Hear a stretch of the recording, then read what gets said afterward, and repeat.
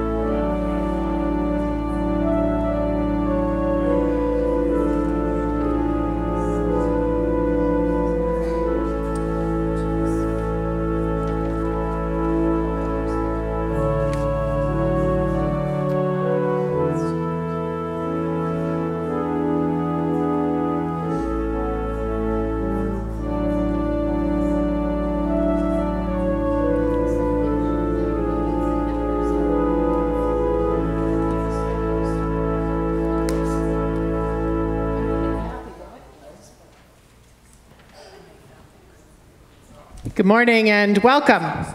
We're glad you're able to join us for worship this day, and we hope you will join us for refreshments following the service in the parlor. If you go through this door, turn right and turn left almost immediately, you'll find coffee and refreshments following the service.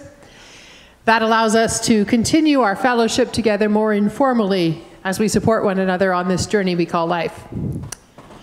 As we have each week during Lent, we begin again by watching our theme video. So here's this week's video. Come unto me, sing in my heart all the stirrings of So this week our topic is why church? And I started thinking about a song that I liked a lot when I was a teenager. It's by Linnea Good and it goes, It ain't hip to be a Christian, being a Christian's real uncool. If my friends caught me at youth group, they would laugh me out of school. I would rather eat my sweat socks with ice cream and pickled cod than talk about religion, Jesus Christ, or God. Well, I'm obviously not a teenager, and things have changed a little bit since I was a teenager. But I actually think it's less cool now to be part of the church and less common. And yet, I think as a society, we are hungry for the things that church has to offer. We want to understand why our lives are meaningful and what matters to us. We want to ground ourselves in values that go beyond our everyday concerns. And we want to be part of a community that welcomes us exactly as we are and invites us to be the best version of ourselves that we can be. and to offer that to the world in a way that transforms us and our society. Linnea goes on to sing that her Sunday school teacher taught them to memorize all kinds of Bible verses, but forgot to explain the reason for detention in this prison on a weekend day. Well, that's what we're about this week. We'll talk about why you should choose to come on a Sunday morning and why you should choose to be part of a church community. What difference can it make in your life and in the world to be part of this thing we call church? If your reason for not coming on a Sunday is because you like to relax, well, feel free to come in your pajamas and bring a coffee along with you. You're welcome however you come. Join us Sunday mornings at 9:30 in Atwood and 11 a.m. at Trinity United Church in Listowel. Everyone is most welcome. Our live stream is also at 11 a.m., but if you're able, I'd really encourage you to come in person. Something different happens when we bring our fully embodied selves to worship body, mind, and spirit. Please join us and have a blessed Lent.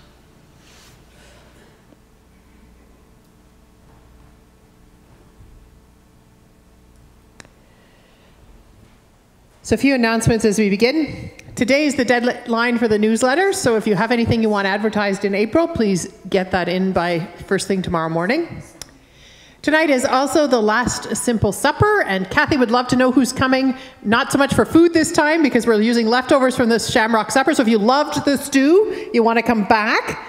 Um, but because we need to know how many, how big a table we need to set.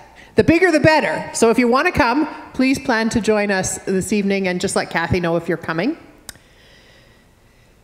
Also, coming up is our um, last, this is the last week, full week of Lent. Next week is Holy Week. And so our last Lenten study is on Thursday evening at uh, 7 o'clock here at Trinity and uh, Friday afternoon at 2 in Atwood. Those are the same study, two locations and times to serve you best.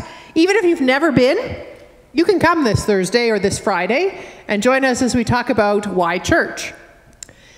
And then next Sunday is our Palm Sunday service, and so we'll have a palm parade and celebrate the last of our Christianity 101 themes. And so we hope you'll make a point of joining us for that. Because it starts then our Holy Week journey.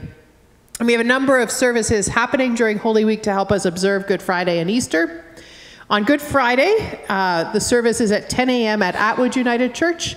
It's a joint service with Trinity, with Atwood, as well as with Knox Monkton Presbyterian and uh, Atwood Presbyterian Church. Ernie Naylor will be the preacher.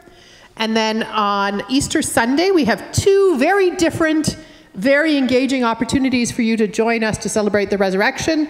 On Easter Sunday at 8 a.m. in Atwood, we will have a sunrise service. We're not making you come up for dawn, but come and join us for a very participatory, lively service that's followed by a delicious Easter breakfast. So, your incentive to get up a little early that morning is that you get to come for breakfast afterwards after a really moving service. And then we'll have a more traditional, um, but still participatory, because we're going to do a pop up pageant. Do you remember what we did at um, during Advent with the Christmas story? We're going to do that with the Easter story, interspersed with all of your favorite Easter music. And so this will be the opportunity to sing a lot of the traditional Easter uh, songs, as well as to hear the story and to get ourselves really into the story. We'll also celebrate the sacrament of communion at the 11 a.m. service. So please join us for one or both of those services on Easter Sunday to help celebrate that great. It is the biggest day in the church year. Christmas is not the highest holiday in the church year, it's Easter Sunday. So if you're not here, find a church someplace and join us to celebrate the resurrection. Few other announcements are so the fact that the Trinity Treasures online sale is canceled does not mean the rummage sale is canceled. I've had a few questions about that since the email went out this week. So the rummage sale is not canceled, and so we still need your stuff. So if you are cleaning out your, your stuff and you have some things that would be of use to someone else, don't give us junk. Give us stuff that somebody else might want and might have a use for. Um, Donations are being accepted now until 7 p.m. on April 17th, so that's the Monday before the sale. That is a hard and fast deadline because when stuff keeps dribbling in during the week, it's a real challenge for the folks who are sorting it and getting it set up. So you have three and a half, weeks or so to continue to get bring in stuff, please do that either during office hours, Monday, Wednesday, and Thursday mornings, or contact the church to arrange a time to make a drop off.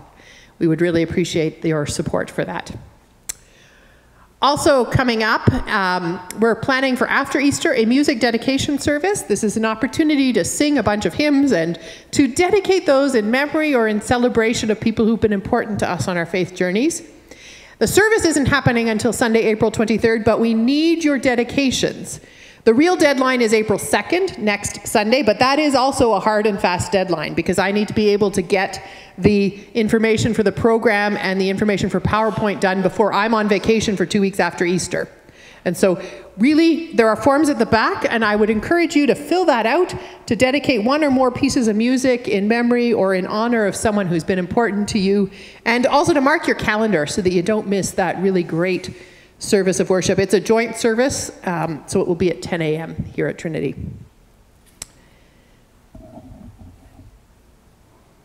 As we gather, we also acknowledge that we gather on the sacred soil of Treaty 29, the home of the Anishinaabe and other Indigenous peoples for millennia. We acknowledge their stewardship of this land and we pledge ourselves anew to work towards right relation with the earth and with Indigenous peoples. Let us light our candle.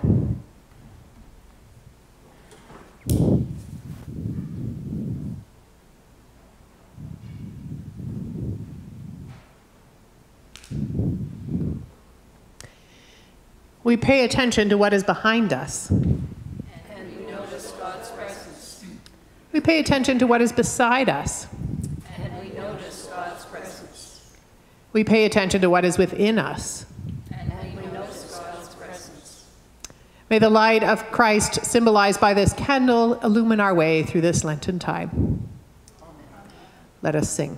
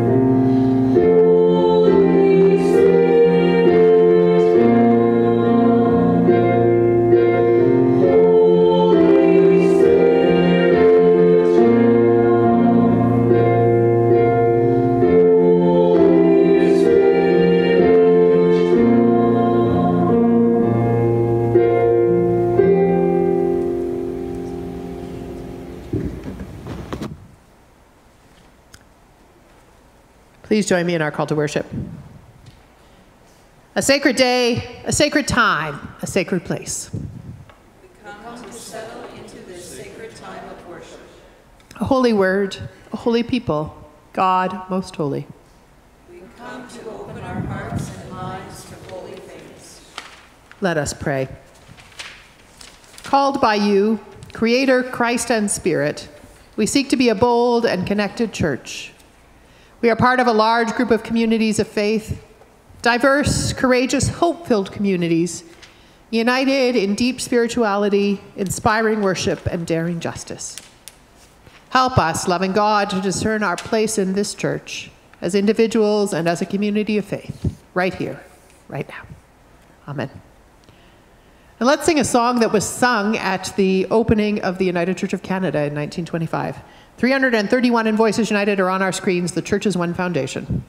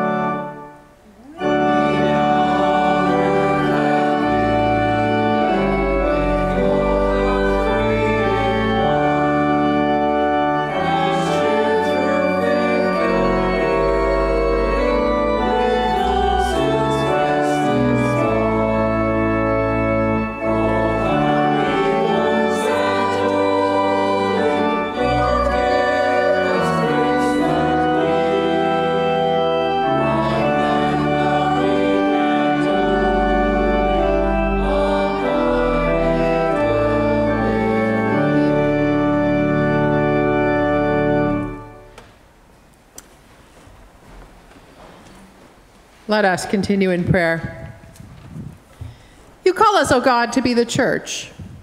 We accept that call and we want to respond. We seek to celebrate your presence.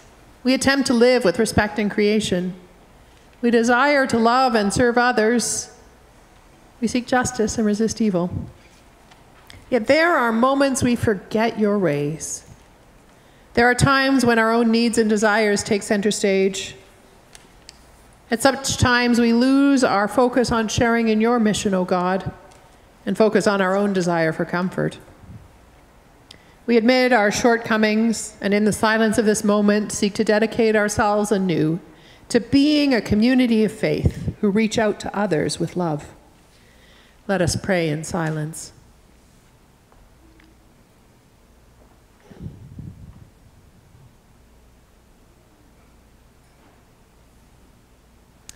Holy Spirit, inspire us anew to answer your call to be your church.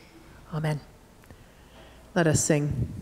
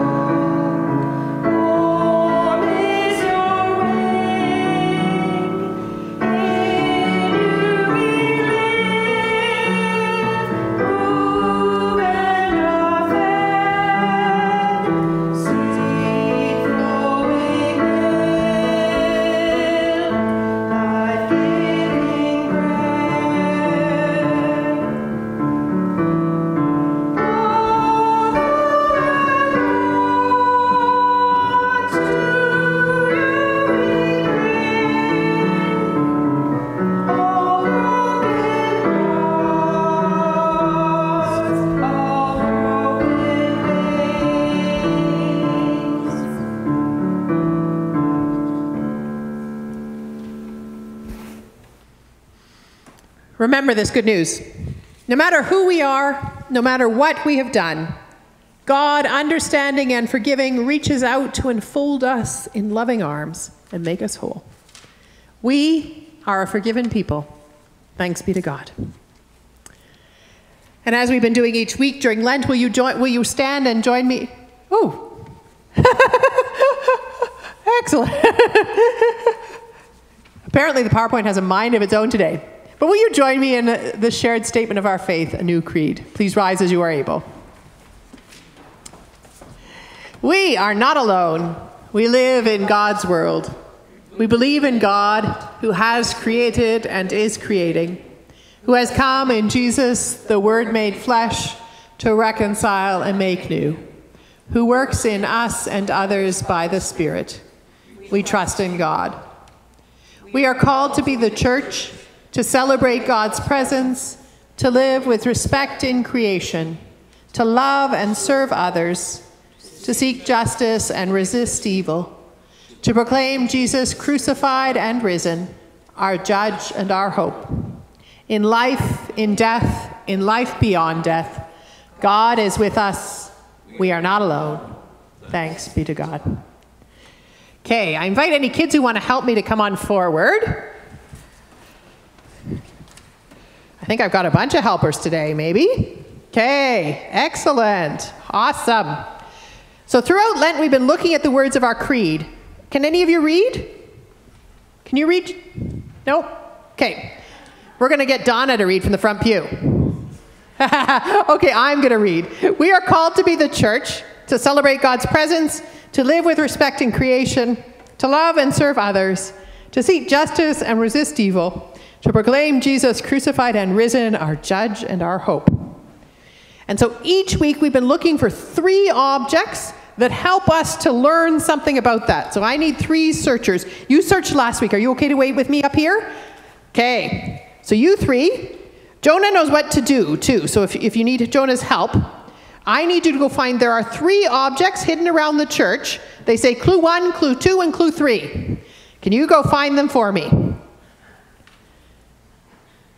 Okay, they might need our help, Jonah, to get started. You did a good job of this last week with some. Okay.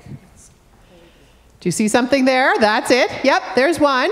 Bring it here. Okay. So there's one. Okay. There are two more objects. I think the, I think the other one is over this direction. So if you guys want to go look, we still need. Oh, Oh, you left the, bring, bring the bag too, the whole bag. It's heavy, but I think you can do it. Everly. Is it too heavy? Do you need help? It's too heavy? Okay, Leanne will help you. Okay. Oh, did you find it? You did. Awesome. Okay, so we have three objects here.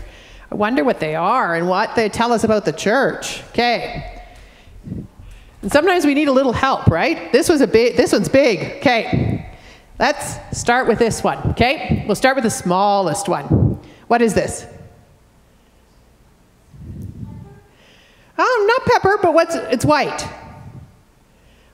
What do you shake that's white? Okay, it's a salt shaker. And it says, Let me tell you why you are here. You're here to be salt seasoning that brings out the God flavors of this earth. Do you think the church does that? Helps us to live flavorful, good lives? Maybe? So that's our first symbol is the salt shaker. And then our second symbol, what is this? Cookies. Anybody like cookies? Okay. It says every day they met together in the temple and ate in their homes. They shared food with gladness and simplicity. Anybody ever shared food in church? Hands up. So one of the th- mysteries of the church, right, is that we often know God when we share food together. And that there's something powerful about that. You guys can take this with you to Sunday school once we're done. You like cookies? Yeah, I thought so. it was mean to show. Okay, what's in here? Somebody want to have a look? There's some peaches and some rice and some juice and some tuna. What do you think this is for? It was in a bin outside around the corner here that somebody dropped off. Why do you think somebody would bring a bag full of food to the church? It's food for the food bank. Exactly. We're going to put it back in the food bank bin, thanks to whoever left it there. It says, I was hungry and you gave me food to eat. I was thirsty and you gave me a drink. I was a stranger and you welcomed me. I was naked and you gave me clothes to wear. I was sick and you took care of me. I was in prison and you visited me. So, do you think we know something about what it means to be church when we help other people? Like the food bank? So, those are our things for today. What do you think of that? Okay, would you guys like to take the cookie symbol? Okay, I need the magnifying glasses back so we can search again next week. And I believe you folks have a special craft. You're going to take that down for everybody, Jonah? Okay.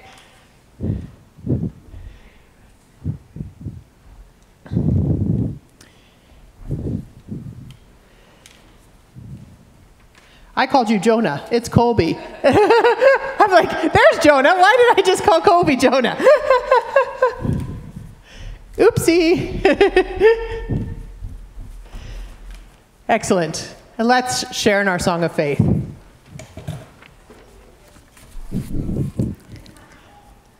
We are called to be the church. We sing of a church seeking to continue the story of Jesus by embodying Christ's presence in the world. We are called together by Christ as a community of broken but hopeful believers, loving what he loved, living what he taught, striving to be faithful servants of God in our time and place. Our ancestors in faith bequeathed to us experiences of their faithful living. Upon their lives, our lives are built. Our living of the gospel makes us part of this communion of saints, experiencing the fulfillment of God's reign, even as we actively anticipate a new heaven and a new earth. The church has not always lived up to its vision. It requires the Spirit to reorient it, helping it to live an emerging faith while honoring tradition, challenging it to live by grace rather than entitlement. For we are called to be a blessing to the earth, We sing of God's good news lived out, a church with purpose, faith nurtured and hearts comforted, gifts shared for the good of all, resistance to the forces that exploit and marginalize, fierce love in the face of violence, human dignity defended. Members of a community held and inspired by God, corrected and comforted.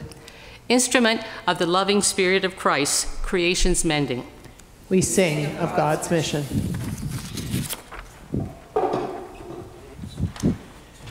Thank you, Ruth Ann. And let's sing of God's mission. 578 in Voices United are on the screens as fire is meant for burning.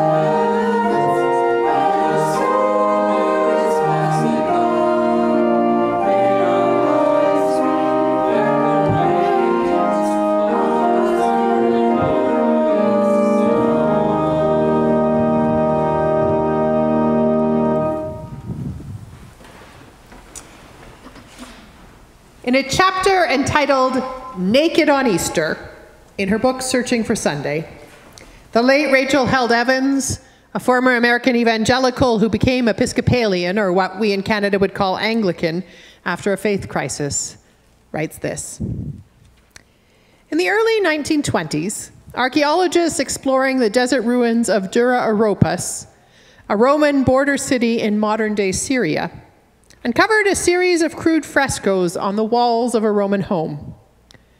The frescoes surrounded a bathing pool and depicted several distinct scenes a shepherd carrying a lamb on his shoulders, a woman at a well, two figures walking across the sea as their comrades watch from a ship, three women approaching a tomb. The archaeologists had discovered the baptistry of what remains of the oldest known church building in the world. Nearly 2,000 years earlier, on Easter morning, just before the sun rose, flickering lamplight would have illuminated the drawings as new converts to Christianity kneeled, stark naked, in the water of the baptistry. One by one, the men separated from the women, each publicly affirmed the tenets of the faith and renounced Satan and his demons before being submerged three times in the cold water in the name of the Father, the Son, and the Holy Spirit. Dost thou renounce Satan and all his angels, and all his works, and all his services, and all his pride?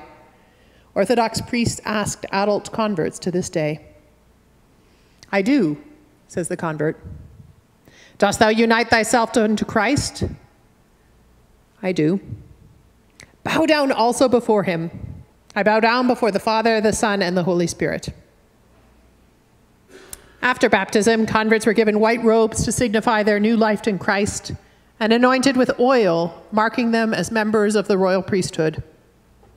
They then joined their fellow believers to celebrate the Eucharistic meal for the first time. The process was repeated every year, after several days of fasting and at the culmination of a solemn Easter vigil.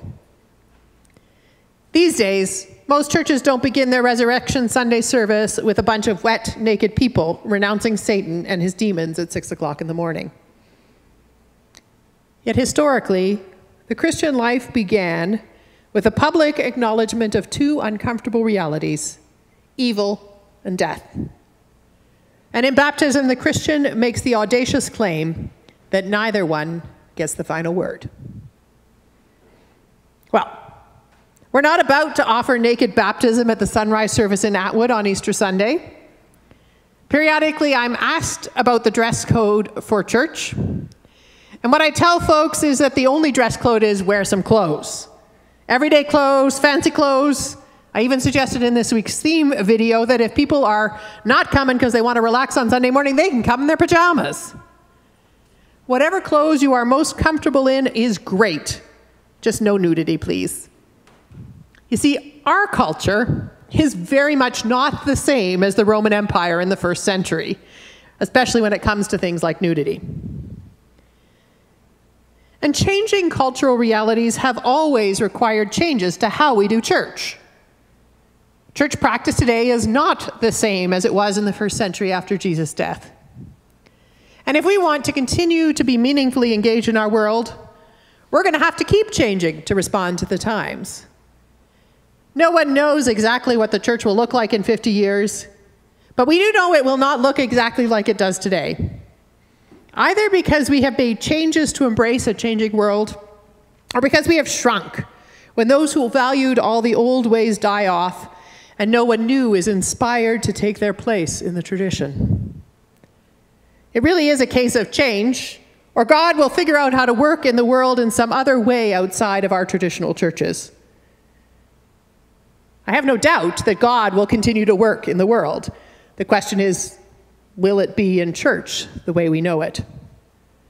But that's a sermon for another day. Today's question is not how should we be the church, but why bother to be church at all? And I think this remembrance from the very earliest days of Christianity offers some interesting clues that might help us to answer today's question why church? Lent, the season of the church year we're currently in, began as a period of preparation for baptism, which took place at dawn on Easter Sunday morning or slightly before dawn. And that's the tradition of Lent that informed this year's approach to Christianity 101. It's a time to learn about the basics. So, this morning, we're going to jump right into the strangeness of this ancient way of doing baptism to see what insight it might offer us into why we bother to be the church at all in this time and place. Now, I know the language is unfamiliar and sounds a bit strange to our ears, but I think the church exists as a place where we regularly, repeatedly, and in community with one another renounce evil. Our creed says that we seek justice and resist evil, but the stronger language in this ancient liturgy might actually capture the need better. There's something powerful in that question Do you renounce Satan and all his demons? TV, movies, and other media have conditioned us to imagine demons and Satan in a particular way, a particularly very limited way. But our ancestors in the faith had a much broader understanding. The monastic movement, for example, talks about the demon of acedia, which is apathy, and how in the three o'clock sunlight you can find yourself without the strength to carry on and the strength to persevere in faith. Or the demon of jealousy, which, when you share all things in common, is a very powerful and dangerous force. And if you think back to the second week of this series, we talked about God and how the image of God as a king on the throne or as a father in heaven just doesn't work for most of us literally, right? Like, God is not a human being and God can't exist above the sky because we believe that the solar system and the planets are out there. And yet, there's something helpful about those images in that they make the ineffable concrete. So that we can talk about it, so that we can think about it. And in the same way, we know that evil is not a physical person with horns living under the ground, or a creature with wicked teeth, evil eyes, and a spiked tail who hides under our beds. Still, imagining evil in these ways as Satan or demons can also help to make evil concrete so that we can actively resist it. Because one of evil's sneaky characteristics is to be hard to pin down, hard to define. And as a church, I think a big part of why we exist is to resist evil. Not once, not twice, but every day for our entire lives as an essential core spiritual practice. I think that's why that question about resisting evil is part of the baptism liturgy. And while they overlap in subtle and sometimes not so subtle ways, when I'm thinking about evil, I find it helpful to divide it into two broad categories personal evil and societal evil. And in the United Church, we don't always pay much attention to personal evil. Many of us have been wounded by traditions that thump on the pulpit and holler at us about hell, telling us that we are sinful wretches destined for eternal damnation. And I don't believe that. I believe that our foundational identity is the one we claim in baptism, just like Jesus. We are God's beloved in whom God is well pleased. And yet, there is something to acknowledging that human, as human beings, we are prone to sinfulness.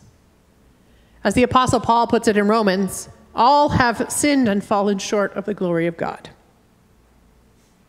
Maybe it's only me but sometimes there is sinfulness in my heart. I can be petty and even mean spirited. I can be greedy and envious. I can also be apathetic, lazy, and self absorbed, indifferent to the needs of others. There are days when the voice of temptation is whispering in my ear Take the easy way out, Beth. Or just this once can't hurt. Or no one will notice. And I need the church to help me resist those voices. Every Sunday, when I offer words of confession in community, whether those particular sins and temptations are the ones that have troubled me this week or not, I am called anew to a way of repentance, forgiveness, and love that renounces evil for my own sake and for the sake of the world. I'm never going to get it right once and for all. So I need the church to help me keep adjusting my course and reconnecting with the kind of values I want to live out in my life. I need to be strengthened in my resolve to resist evil. Now, sin and evil are not only personal, they're also systemic. We live in a world filled with injustice. It is wrong that people freeze to death on the streets in the wintertime. It is wrong that people go to bed hungry in our community where we have enough food to feed everyone. It is wrong that you are more likely to be followed in the store or killed by police if your skin is not white. It is wrong that men still earn more than women in Canada on average for doing the same job. And it is wrong that ecosystems are being destroyed and creation's abundance permanently damaged. All this and so much more is evil, and as people who live in this world, we participate in that evil. So when we come together as church, we have to seek ways to resist injustice. We strive to change our society so that it will more nearly reflect what Jesus calls again and again and again in the Gospels the kingdom of God. We're looking to help build a world that reflects God's vision for the earth, not the priorities of those who love power. And we are working towards making it unnecessary. And yet, until it is unnecessary, we are also called to care for those who are wounded by the current world order. As the Apostle Paul puts it, I appeal to you, therefore, brothers and sisters, on the basis of God's mercy, to present your bodies as a living sacrifice, holy and acceptable to God, which is your reasonable act of worship. Do not be conformed to this age, but be transformed by the renewing of the mind, so that you may discern what is the will of God, what is good and acceptable and perfect. Being a part of the church is countercultural, and probably it should be. It was in the first century, too. Because we are striving to create a world that more nearly reflects God's will for justice, peace, and abundance. And this requires us to challenge the status quo whenever it's promoting a system of injustice. It requires us to be engaged in transformative work, personally, collectively, and societally. And just like Jesus' work made him very unpopular with the powerful people of his day, witness the crucifixion, our work can be challenging. We're not going to achieve perfection, but I belong to the church because it is a group of people who engage faithfully with me in the struggle. Because together, we can do so much more than any of us could do on our own. At best, the church is also a place where we are invited to get naked, not physically, but spiritually. The church is a community where people should be able to be real, to be vulnerable, to be fully themselves. As Rachel Held Evans puts it in another chapter of Searching for Sunday, imagine if every church became a place where everyone is safe, but no one is comfortable. Imagine if every church became a place where we told one another the truth. We might just create sanctuary. Listen to that again. Imagine if every church became a place where everyone is safe, but no one is comfortable. Imagine if every church became a place where we told one another the truth we might just create sanctuary. It adds a whole new meaning to the fact that we have traditionally called our worship spaces the sanctuary. How do we make our sanctuary spaces where folks genuinely experience sanctuary? That feeling of being safe and being held. We don't always do this well. Often we get the impression that we should appear like we have everything all together when we come to church.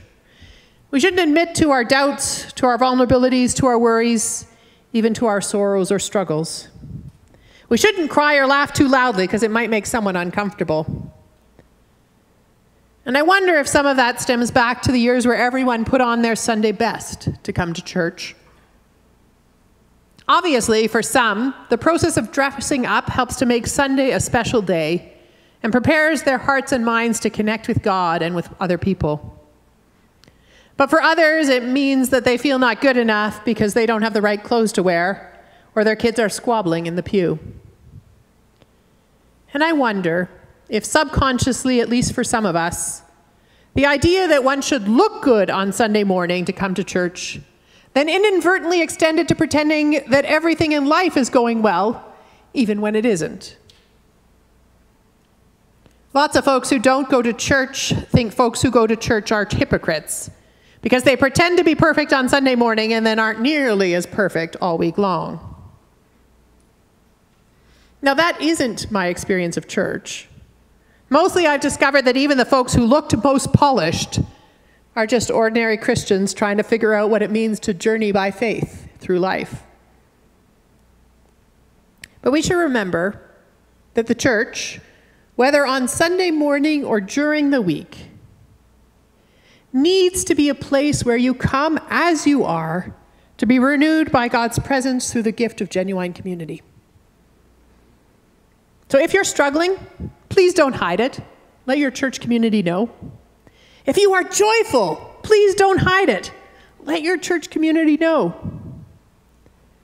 We're here to walk with each other through whatever life throws our way. And we know it won't all be easy because anybody here had a life that's never had any sorrow?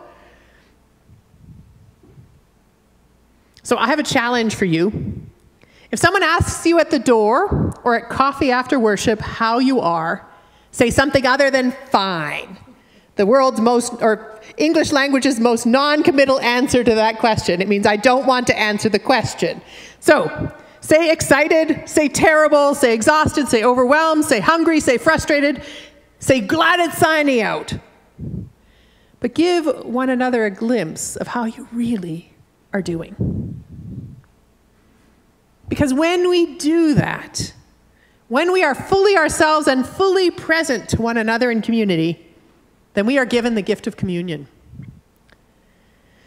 Just as the early Christians experienced communion after their baptism, we too experience God's sustaining presence in community. Sometimes that's through the formal sharing of bread and cup in the sacrament we call communion, which remains for us a visible sign of an invisible grace, connecting us all the way back to those Christians kneeling in that basement 2,000 years ago before dawn on Easter Sunday morning. But other times, it's a cup of tea at a kitchen table, it's cookies in the parlor, it's a glass of Ensure held out tenderly for someone in a hospital room. It's a casserole or a plate of cookies dropped off at the home of someone who is bereaved or recovering from surgery, and so much more. Sometimes, even, You'll find it hard to believe this, but sometimes even there is no food involved. But as Rachel Held Evans also says, the church is God saying, I'm throwing a banquet, and all these mismatched, messed up people are invited. Here, have some wine. So, friends, here, have some wine, or lemonade, or water, or coffee, or a beer. You are invited to the banquet. There is room enough for all. I need you, and you need me. Let's be the church together. Thanks be to God. Amen. And let's sing about being the church.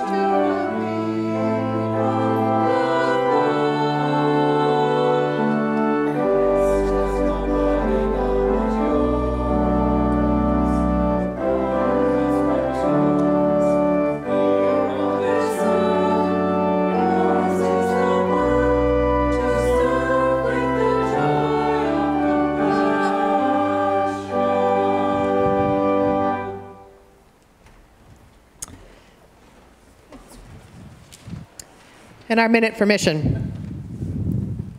We all need someone who believes in us, someone who supports our dreams. Here's one story of how your belief and support make all, made all the difference. In 2017, Arwa was a Palestinian refugee who had just arrived in Montreal. She had made a harrowing journey traveling from Saudi Arabia through New York with her three children in tow. It wasn't easy for me. I was a single mom in a new country with new people. I was struggling for housing and looking for a job. It wasn't easy at all, she says. Arwa sought help at the Montreal City Mission, an outreach ministry your mission and service gifts support. There, her family found a place to belong. Arwa's children made friends, and she benefited from training programs and events. It wasn't long before Arwa gathered a group of women together to form a catering cooperative called Women Weaving Their Dreams, which specializes in homemade Middle Eastern meals. The group was going strong, and the women were becoming more financially secure when COVID 19 struck. No stranger to hardship, Arwa was determined to help others through the pandemic. She initiated a sewing circle to make masks, and in a relatively short period of time, the women of this sewing group had made over 2,000 cloth masks for unhoused people and people with low incomes in the community. I was so happy to help people, says Arwa, whose extraordinary leadership skills landed her a full time job at Montreal City Mission. I consider myself a lucky person that I got to know this organization. It has become not only my full time job, not only my provider, it has become my home. I hope to see more and more women getting the same chance to have this better life for their family, she says. I wanted a country that could hold me and hug me my whole life long. I found it in Canada. Your mission and service gifts support people's dreams for a better life. Amazing people who make their communities and our country stronger. And more locally, in order to be the church, we need resources. We need time and energy, but we also need money. Money for things like heat and hydro and building maintenance, money for worship supplies and Sunday school curriculum, money to pay salaries for those who facilitate our work together, money to participate in the broader ministry of the United Church of Canada across Canada and around the world. The church is not a fee for service organization. Worship is always free, the sacraments are always free, coffee after worship is also free. No one should ever feel like they cannot come because they do not have money to put in the plate. However, as you are able, we are always grateful for the gifts that are offered. We cannot continue our work without the support of those who value our ministry. If each one of us offers what we can, we trust that together we can serve faithfully in our community and in the world. In that spirit, let us sing with gratitude.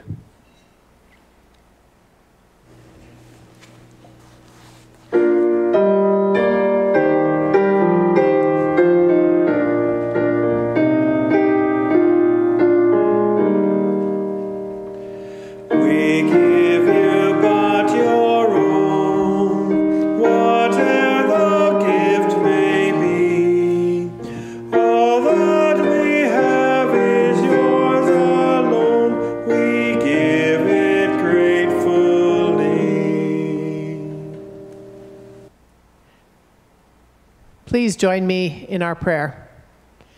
We know there is much need, O God, and we offer what we can to help. Spread the good we intend where it is needed, we pray, that it may help our neighbors near and far. Through Christ in love. Amen.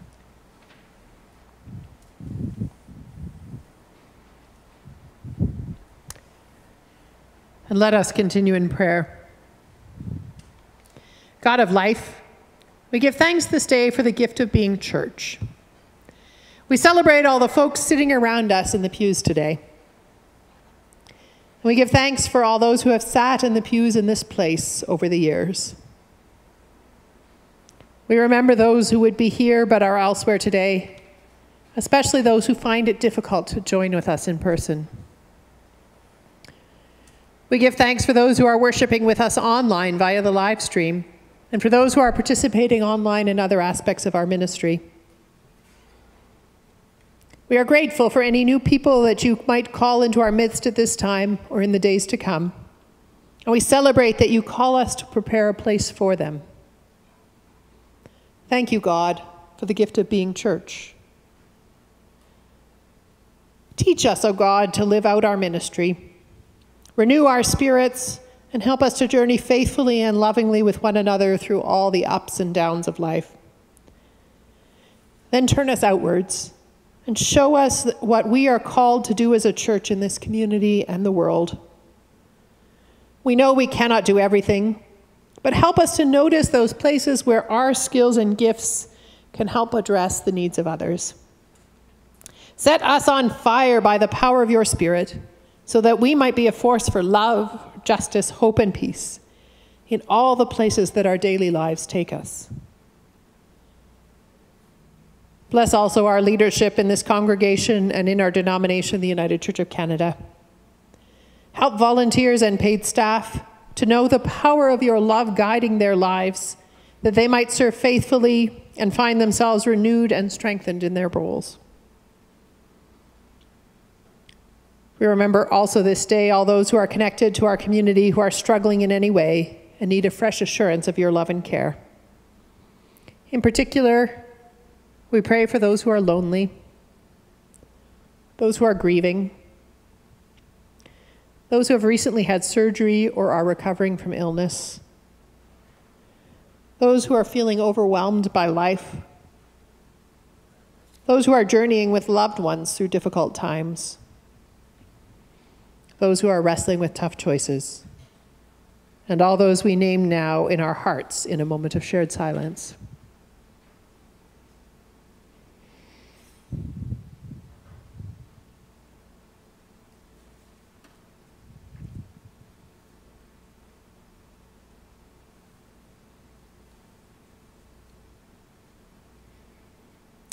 Hold them close, dear God, and help us to know how we might reach out to them with love and care in your name also. We take all our prayers, both those spoken here and those which echo in the deepest places of our hearts, and we join in the words that Christians have prayed in many languages and many places for almost 2,000 years. Our Father, who is in heaven, hallowed be your name. Your kingdom come, your will be done on earth as it is in heaven. Give us this day our daily bread, and forgive us our trespasses, as we forgive those who trespass against us. And lead us not into temptation, but deliver us from evil. For yours is the kingdom, the power, and the glory, forever and ever. Amen. Let's sing our closing hymn 602 Blessed be the tie that binds.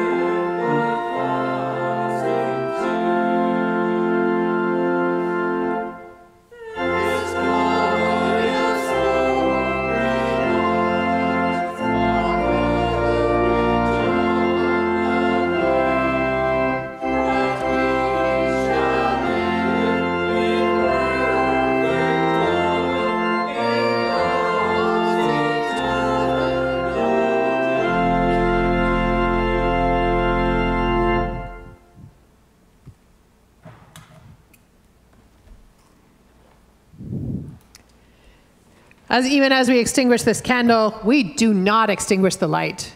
For indeed, the light of God goes with us wherever our daily lives may take us. Thanks be to God. And let us share in our blessing. The blessing of God, who made us in love, who made us for companionship, who made us to enhance and strengthen the world, go with us as we leave this time of worship and move into all the places that life calls us to be. We do not go alone. We go loved and blessed to be a blessing. Amen. And we go out singing.